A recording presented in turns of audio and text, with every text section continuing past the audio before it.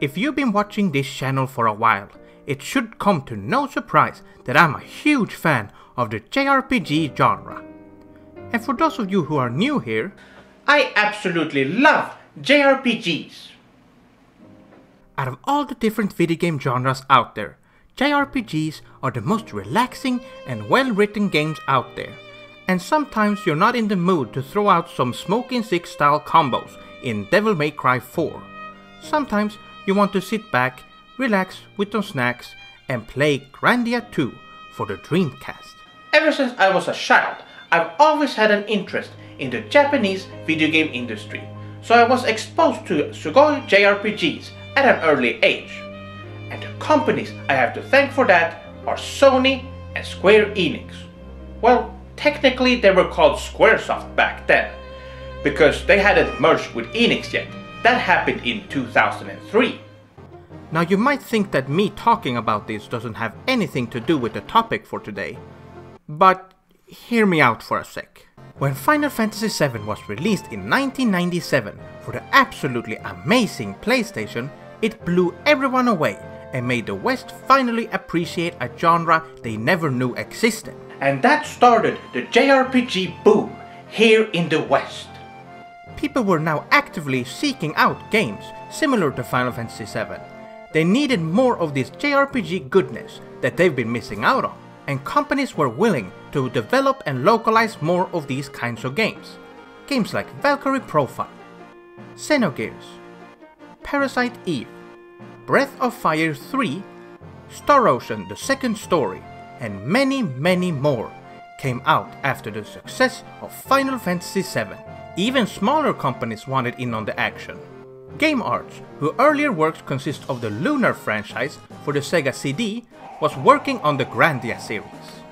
But there were of course a couple of JRPGs out for the PlayStation before Final Fantasy VII hit the scene. Games like Suikoden and Persona started out on the PlayStation and were both released before Final Fantasy VII. and they were not very successful here in the West at the time. But we know that Suikoden and Persona became huge and are some of the most well beloved franchises in the JRPG genre. But why is that? How come these games became so big even though they didn't sell well at all? Well, I have a little theory about that. As I said before, people wanted more Final Fantasy VII, and since they were already done with that game, they started looking for similar games to quench their JRPG thirst. And I was one of those people. But since most of these amazing games would not come out until later, the only thing these people could do was to look backwards at games that were released before Final Fantasy VII. And that is the reason why JRPGs were not successful at first, but became successful with time. After I experienced the masterpiece that is Final Fantasy VII, I started looking for other games just like it, so I went to my local game store with only $20 I had left from my allowance and asked for games that were similar to Final Fantasy VII. They showed me a copy of Suikoden, but it was a little bit too steep, so I could not afford it at the time. I started digging around in the bargain bin for games, and I was able to find something that looked decently interesting for only $19.99. And that game was Beyond the Beyond. Now, if you were around when the PlayStation started getting traction, this is a title that showed up a lot. But surprisingly, not a lot of people have played it. It's as classic as classic gets. Random encounters, turn-based combat, dungeon crawling. Yeah, you get the point. It was pretty sugoi for its time, and I remember having a great time with it. And now we're getting to the topic at hand. Why am I talking about this game? Well, The reason I picked this game up back in the day wasn't only because it was a JRPG. No, the main reason I had to get it was because of the company name that was written on the game case. Camelot. known as Sonic Software Planning in the early 90s, they worked really close to Sega. And you might know them as the creators of the Shining series. Shining in the Darkness, Shining Force 1 and 2, Shining Force CD, and all of its spin offs during the 90s were all developed by Sonic Software Planning. which were some of the coolest games I saw as a kid. Sonic Software Planning were not part of Sega, so they could develop for other companies if they so wanted to. And that is exactly what they did. They decided to change the company's name to Camelot Software Planning when they developed Beyond the Beyond for PlayStation, just to establish that they were not bound to Sega in any way, since keeping the name Sonic in their company name could confuse people. Now you might be wondering, how did you know that Sonic Software Planning and Camelot were the same company at the time?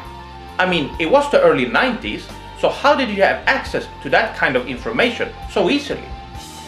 Well, let me tell you a story. I always kept up with Sega, since the Sega Mega Drive was a huge part of my childhood. Sadly, I never owned a Sega Saturn when it was released, because it was way too expensive at the time. $500 was way too much for a 9 year old set, which is why I got a PlayStation instead. But I always was looking forward to games from Sega, and one game that I always wanted to play was Shining Force 3 for the Sega Saturn. I had a magazine with an article of the game that also had screenshots, and the name of the developer was listed as Camelot. And the article also mentioned that the developers of Shining Force are bringing the third installment to the Sega Saturn. I would always read this article over and over, dreaming about the day I would be able to play my own copy of the game on my own Sega Saturn, which sadly never happened, but there was no way I would not remember the name Camelot after that. Anyway, back to Beyond the Beyond. I was very pleased with the game and was looking forward what the company could be working on in the future. if only I knew. This was at the time when Sega decided to purely focus on getting the Dreamcast out as soon as possible, since the Sega Saturn was not part of the company's future. And it was during this time that Camelot did something horrible. Camelot, who were working on Shining Force 3 while Sega made their decision, must have been unreasonably mad at Sega for this, and completely cut ties with Sega, never to work with them ever again. Sega didn't have a choice, and Camelot were just being selfish at this point. It could have ended there, but Camelot decided to take it one step further. They formed a partnership with Nintendo. This was the worst outcome for such a promising company, and they had to work with the most corrupt company in the industry. They were not tricked like a lot of other developers. They willingly went over to the dark side, and they started working on Mario sports titles, such as Mario Tennis and Mario Golf. It literally can't get worse than this. So for a couple of years they worked under Nintendo, until one day they started working on a genre they were very familiar with. And the game to come out of this was called Ōgon no Taiyō, or more commonly known as Golden Sun. It's a JRPG with random encounters, turn-based combat, and character portraits similar to Beyond the Beyond. This has everything needed to be a Super Sugoi JRPG. So despite this being a Nintendo game on a Nintendo system, could this actually be a good JRPG? Or did Camelot lose their sense of game design when they decided to join with Nintendo? Well, there's only one way to find out.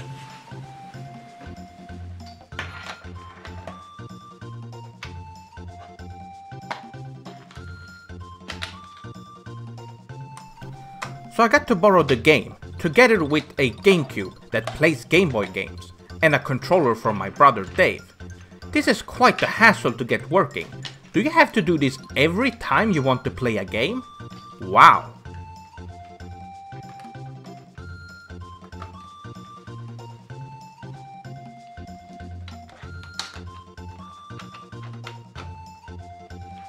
So here we go, Ōgon no Taiyō. Let's see what this game has to offer. First off, you can name the main character here before the game actually starts. I assume that you could get to name the rest of the characters when you meet them for the first time, just like Final Fantasy VII. But no, when you get the second party member, he is already named. Why? Why would they let you name a party member at all if you can't even name all of them? There is no reason. And if any of you are thinking, what is he talking about? You can name all the characters. Then don't bother commenting, because I already know. So by pressing the select button three times when naming the main character, you will hear a and the game will let you name the rest of the characters. But this is absolutely baka. They let you name all of them, sure, but you name them all before the game actually starts, spoiling all the characters. They could have done it like Final Fantasy VII, like I said before, and let you name them the moment you first met them. That would not spoil the story, and just get rid of the stupid select button trick to name them. Okay, the game has not started yet, and while this is a really baka decision on Camelot's part, it has nothing to do with the gameplay or story. So, let's give this game a fair chance. So the game starts with this opening sequence where the main character's hometown is being attacked. And it starts with your mom waking you up. Wow, I wonder where you got that idea from, Camelot. Anyway, can you take a guess of what's attacking the village? A, a boulder. Um, okay. Not some kind of creature or evil villain, but a boulder? This is just extremely silly. If it was some evil man wrecking chaos, it would be so much more interesting. But no! Here we have our well written and terrifying antagonist, a boulder. Wow. Anyway, so I walk through this fort.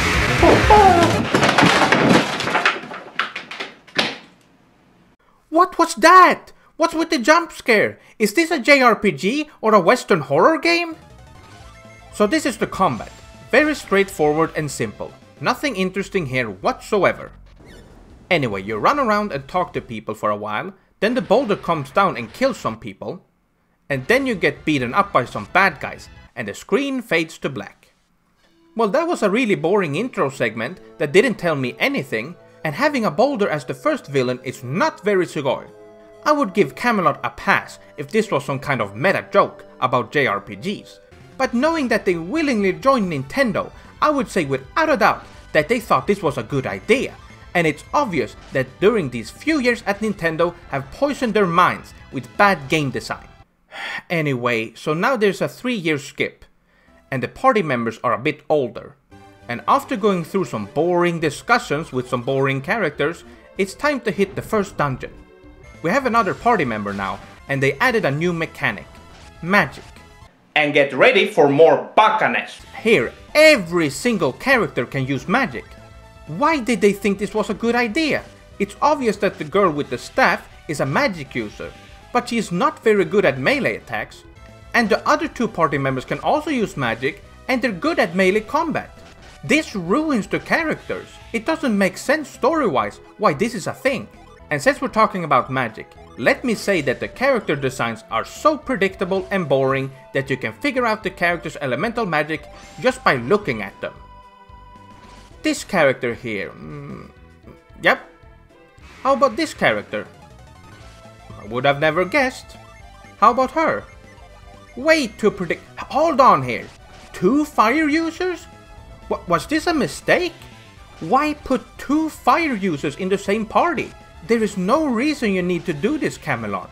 Could this have been an oversight? Anyway, the fact that the party members have to have a design that indicates their elemental trait is just lazy and boring. If we follow this game's logic, then I would be able to... Anyway, so I kept exploring this dungeon. Oh! I can't get used to these jump scares. Like I said, I explore more of this dungeon, and after some battles and puzzles, I reach the end of it. There is a long segment here where bad guys shows up and kidnaps one of your party members, and they just talk and talk and talk, and then you have to run away, all the way back through the dungeon. And then there's even more talking about whether or not the main characters should head out to save the world or whatever. Spoilers, they do. So now we're out on the world map, and the game introduces another game mechanic. It's some kind of creature that you equip, and you can attack with it, and it's stored up there on the screen, and it also gives you new attacks, but to get these attacks you have to go to the menu and activate it, and you uh, have to summon it in battle, but only after you attack with it, and by using the summon it gives you even more elemental power depending on which elemental the creature... Oh. Why do this many things with one mechanic? It's just confusing. And they just throw it on you like, here you go, have fun. Except it's not fun, it's frustrating. Now, it's true that these creatures add attacks when you equip them. That is a pretty neat system, right?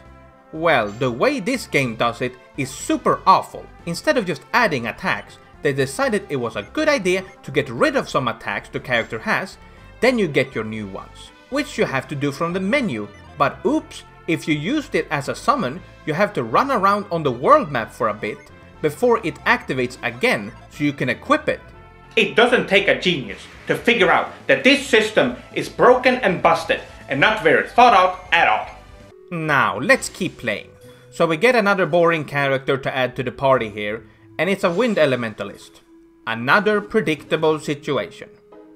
After solving the village mystery, we continue on. We enter another dungeon, we get another creature and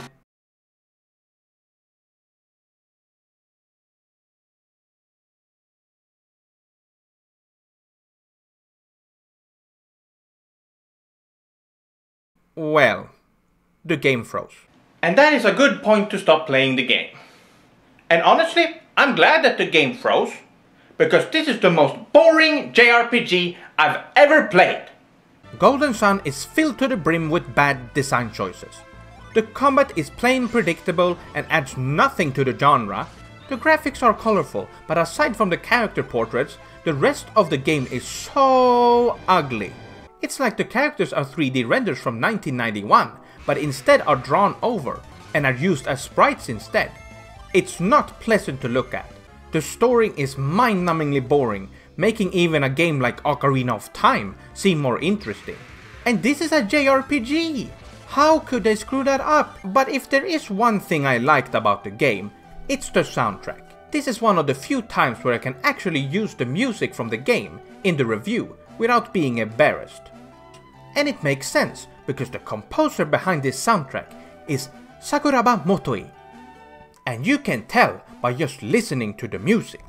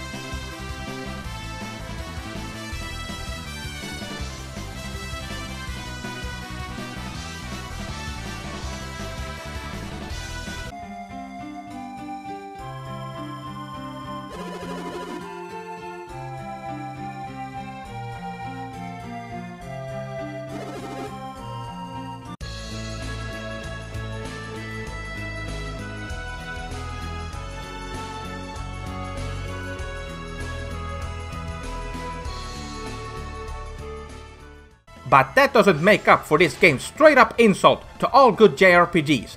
And what makes me even more mad is the fact that Camelot used to make good games that respected JRPGs and Japanese culture. What happened? Why would you do this? I'm so mad that I could throw the game out the window.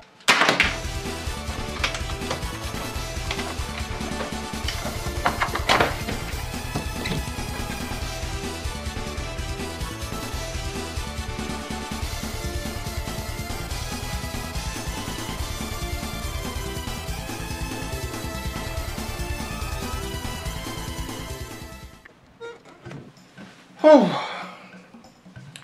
Well, that made me feel way better. Anyway, I hope you Swordlings enjoyed the video. Have a good night, evening, morning, or day.